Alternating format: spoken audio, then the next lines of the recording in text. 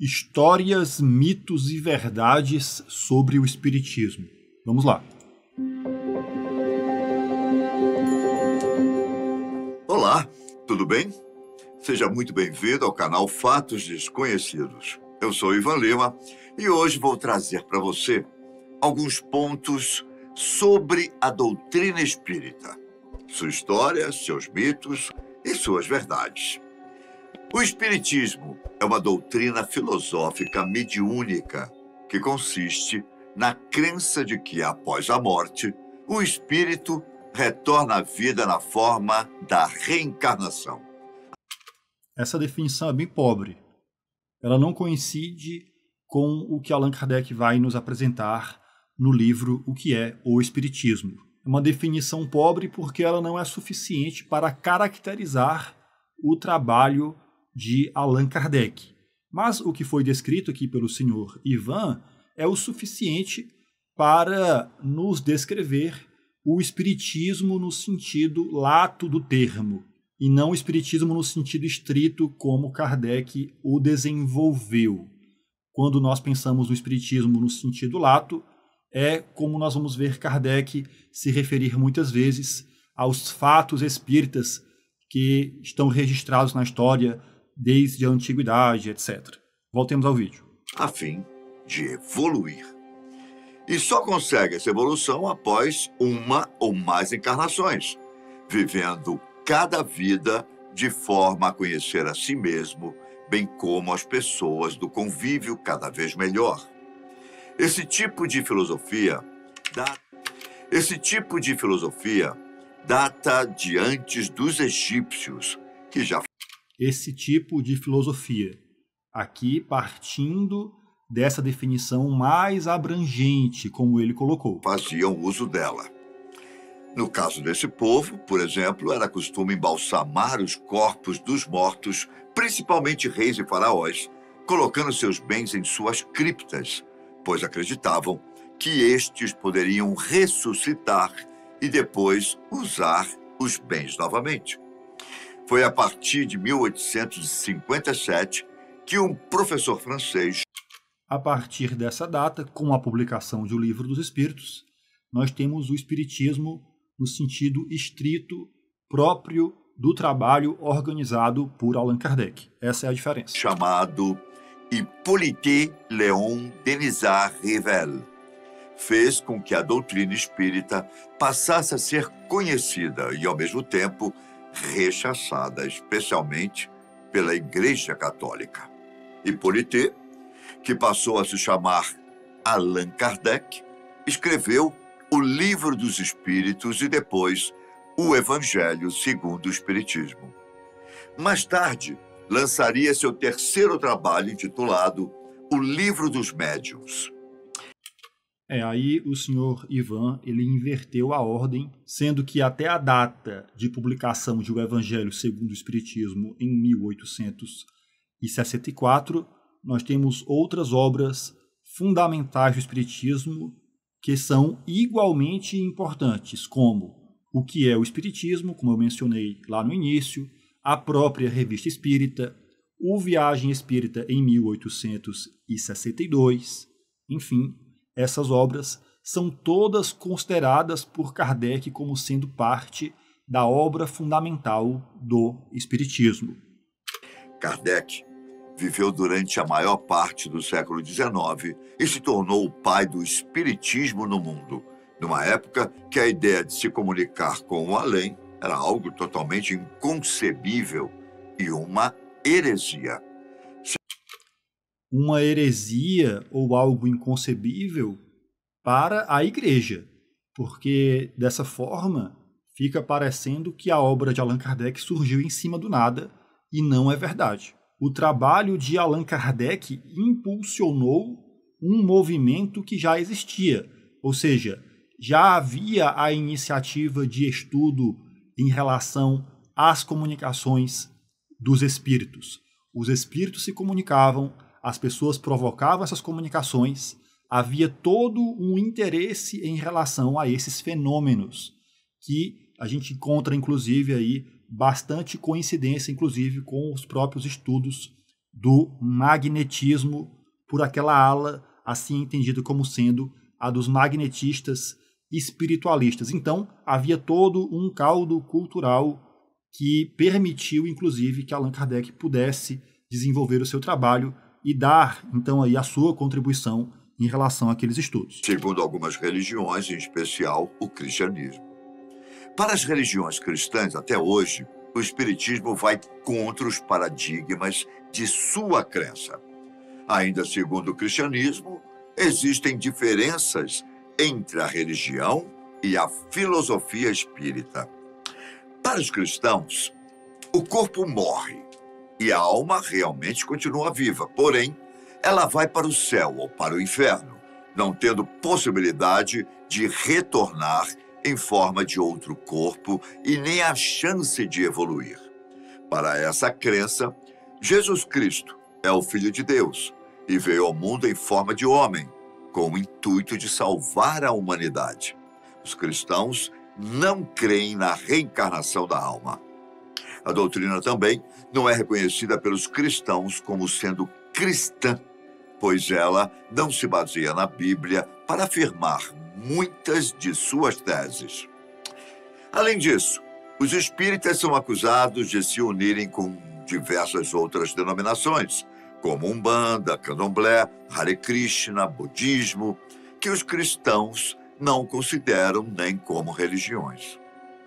Mesmo assim, o Espiritismo conseguiu atrair mais de 13 milhões de pessoas, sendo que um terço desse número encontra-se no Brasil. No entanto, a doutrina espírita é cercada de citações que nem sempre são verdadeiras.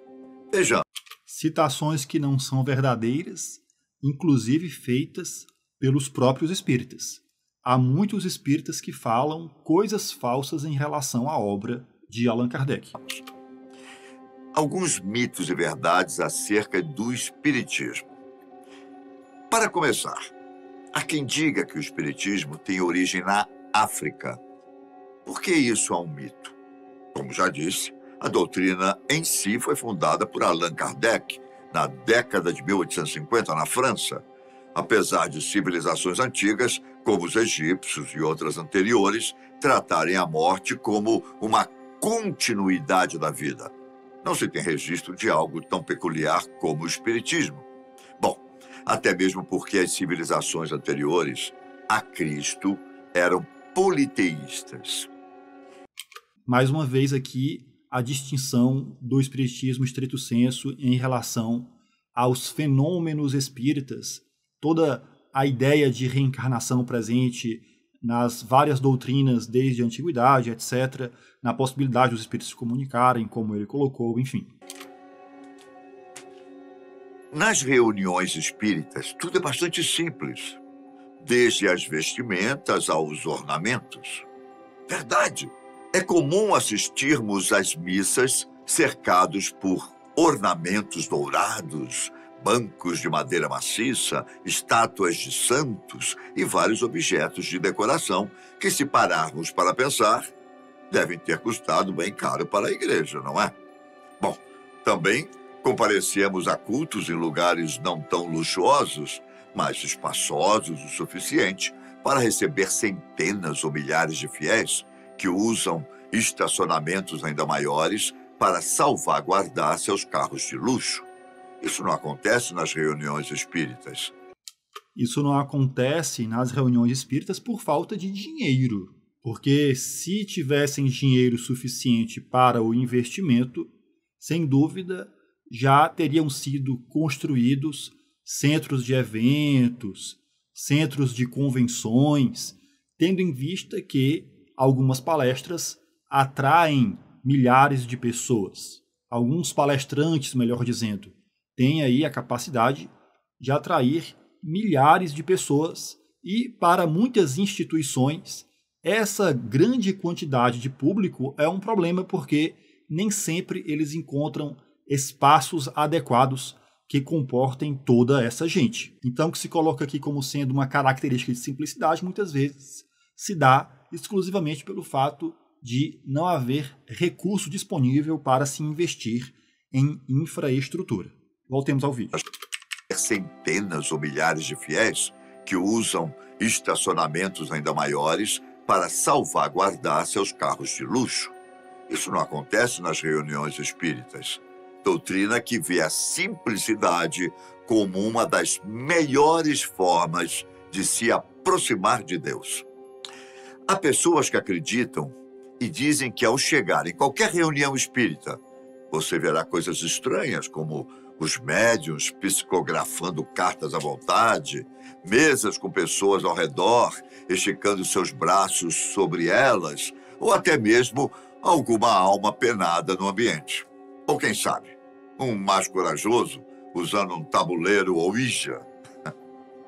Isso não só é um mito, como também é um mito escandaloso, não é? Nada disso ocorre.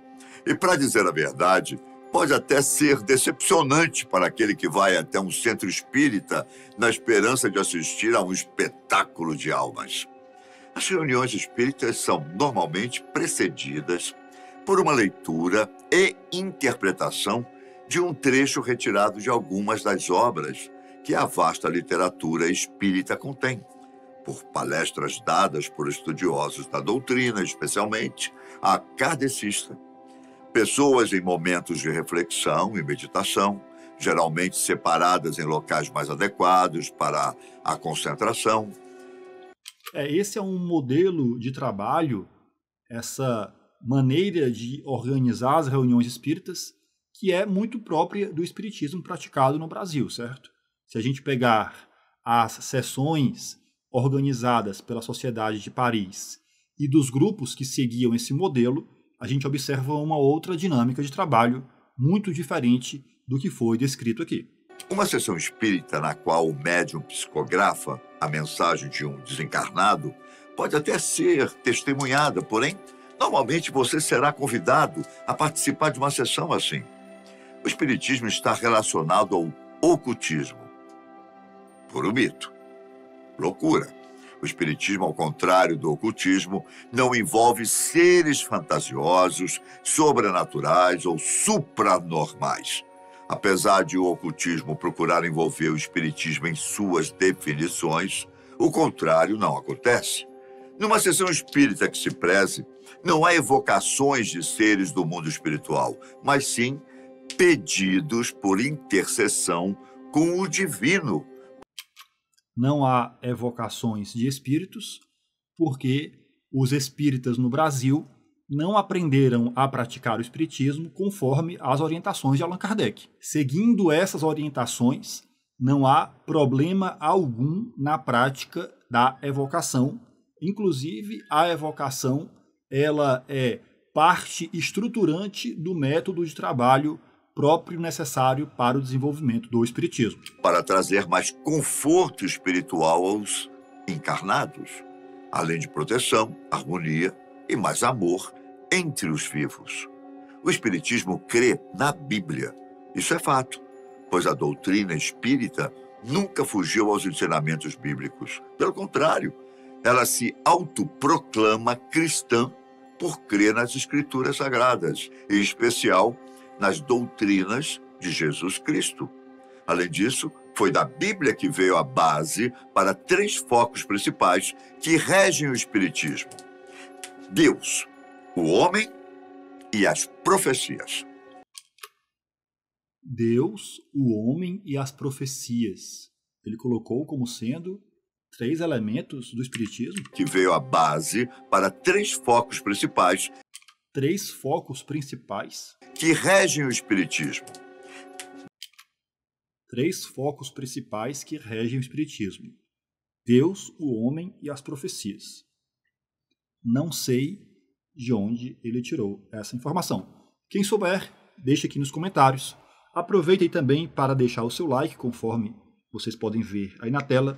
Deixe o seu like, ative o sininho. Vamos lá. Deus, o homem e as profecias.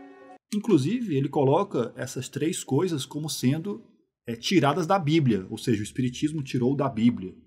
Bom, como eu disse, não sei de onde ele tirou essa informação. O Espiritismo está ligado a coisas macabras. Ah, Para quem acredita em filmes de terror, talvez. As brincadeiras à parte, isso é mais um mito. Pode ser que alguém mal intencionado e ligado à doutrina queira incluir coisas macabras em suas reflexões e ações. Só que isso jamais esteve ligado ao espiritismo. Os espíritos se apossam dos corpos dos médiuns. Bom, para quem assistiu ao filme Ghost, do outro lado da vida, e levou todas as cenas a sério, é fácil imaginar um médium em um canto de olhos fechados, tendo um delírio tremes e sendo possuído por um espírito. Para quem chegou em A Gênese e leu o que Kardec colocou a respeito do fenômeno da possessão como um fenômeno de mediunidade, a gente vai ver que não é tão estranha assim essa ideia como se coloca. Vejamos. Isso não é verdade. O que acontece é uma espécie de conexão psíquica entre o médium e o espírito, em que um tem a mesma sensação que o outro durante o tempo que mantém esta sintonia. É mais ou menos quando você encontra alguém que tem os mesmos pensamentos e vontades que você. Porém, vai um pouco mais além disso.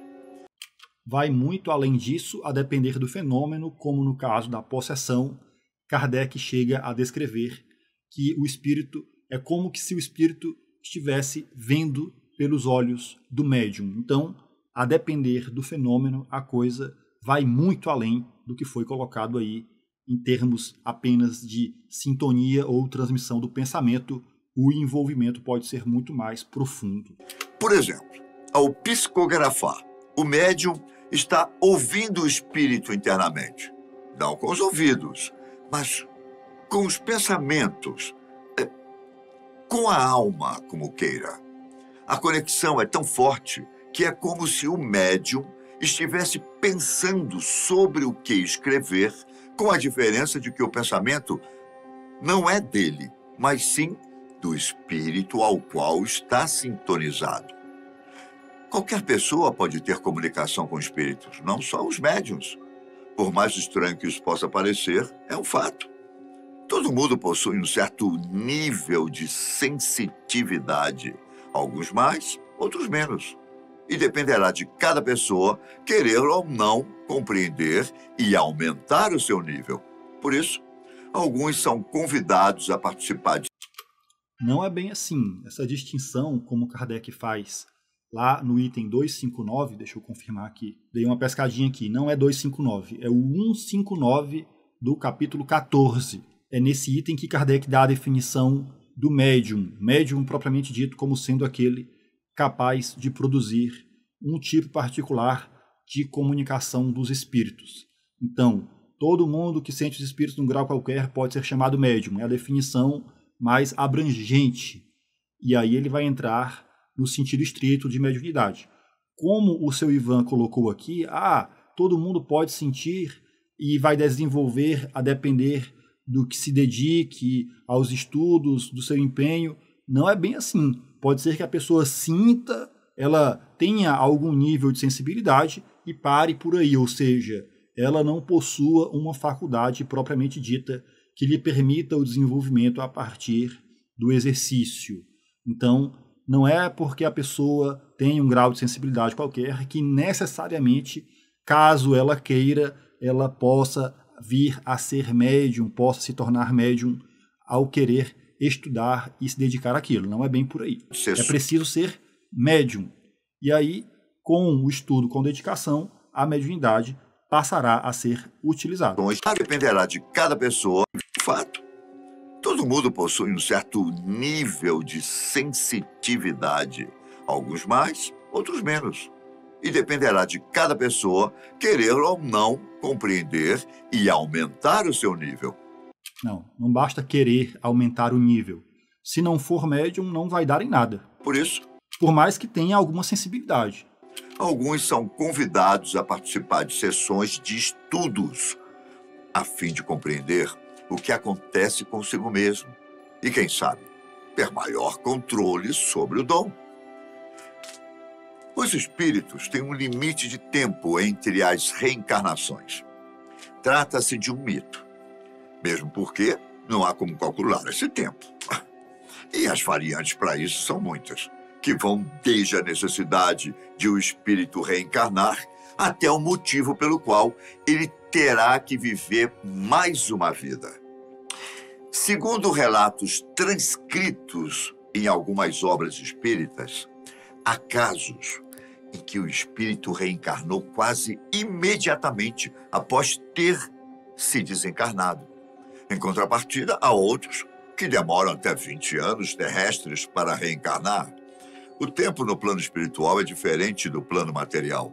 Segundo os médiums, tudo é diferente. Tudo.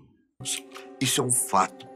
O tempo material é utilizado para tudo em nossas vidas. Hora para comer, para dormir, para trabalhar ou descansar, hora de lazer, enfim, temos hora para praticamente tudo. Dependemos de relógios e calendários para organizarmos nossas tarefas e nosso cotidiano. Além disso, nos orientamos por meio de três tempos: passado, presente, futuro. Já no plano espiritual, nada disso existe. Portanto, a ideia de tempo não é a mesma lá da que temos aqui.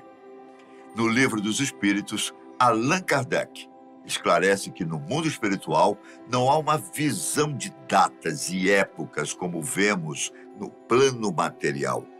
Os espíritos vivem fora do nosso tempo, como os compreendemos. O tempo no mundo espiritual é diferente do tempo terreno, e no mundo espiritual ele para de existir. Os séculos na Terra são tão longos aos nossos olhos. Já no mundo espiritual, não há como contabilizar para quem vive de eternidade. Os espíritos têm um número limitado de encarnações. Hum? Este é mais um mito, considerável para aqueles que não conhecem ou pouco conhecem sobre o espiritismo. Não existem limites para que uma alma reencarne. Quanto mais evoluída, mais vezes é possível que ela reencarne. No entanto, isso também não é uma regra. Jesus Cristo, por exemplo, foi um ser altamente evoluído, só que até o momento não sabemos se houve qualquer outra evolução de sua alma em outro corpo. Isso é muito relativo e bastante difícil de se afirmar a existência de limites, uma vez que tudo é infinito. Bom, e aí? Comente aqui embaixo sua opinião a respeito, sendo espírita ou não. É interessante saber o que você pensa sobre essa religião. Se gostou do tema de hoje, não se esqueça do joinha, tudo bem? Isso é muito importante para o canal. Um grande abraço, fiquem com Deus e até a próxima. É isso. É isso. Até uma próxima, então. Valeu.